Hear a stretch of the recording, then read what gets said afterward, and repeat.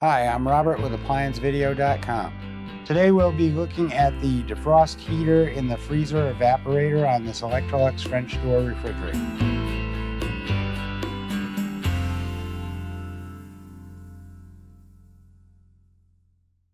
Stop. Before you begin any repair, unplug the appliance from the wall outlet. It is also recommended that you check for proper voltage.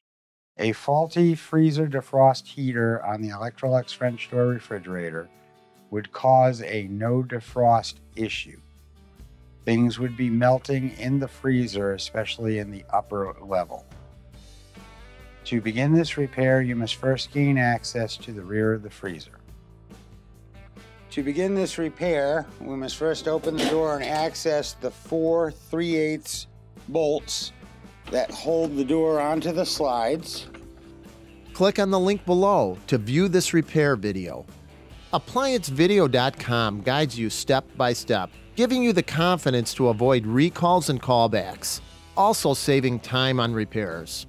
Whether you're up against an uncommon repair or the latest appliance on the market, our videos have been created with you in mind.